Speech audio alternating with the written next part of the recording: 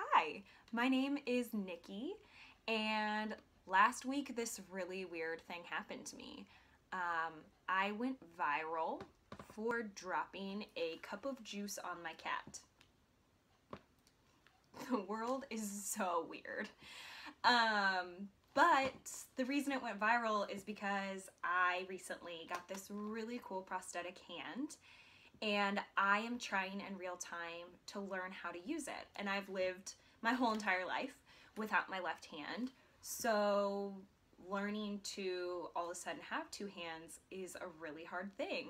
Um, anyway, that doesn't matter. What does matter is the fact that I've decided that the easiest way to answer a lot of questions I've been receiving is actually to make a couple of videos and um, share my thoughts and my feelings and mechanically how does this work? Um, just kind of there's a whole gamut of things that people have continued to ask me over and over and over again. So this is my attempt to do that. So here's how we're starting. Today who the heck am I and why do you care? Right? So my name is Nicole Kelly I'm 27 years old um, in 2013 I went and I won Miss Iowa which allowed me to go to Miss America and this crazy thing happened. What happened is after I won, it blew up in the news that a disabled girl was going to Miss America. And never in my life, I was 23 when I won, never in my life had anybody used the word disabled to my face. It was not the way I identified, and I went to Miss America really shook up and really not ready because all of a sudden people were calling me something that I did not identify as. Um, so Miss America was great. I had a lot of feelings.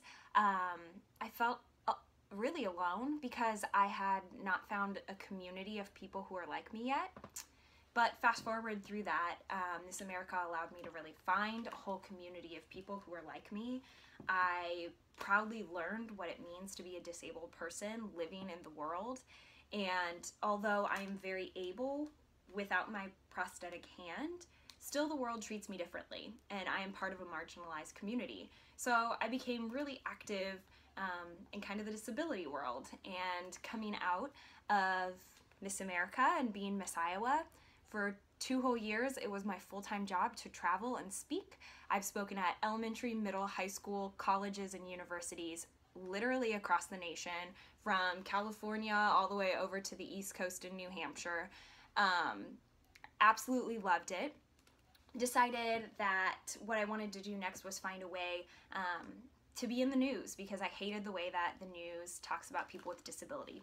It's always a conversation um, about pity and, oh, good for you. It's you only have one hand, but oh, isn't that really cool that you still got to go to Miss America?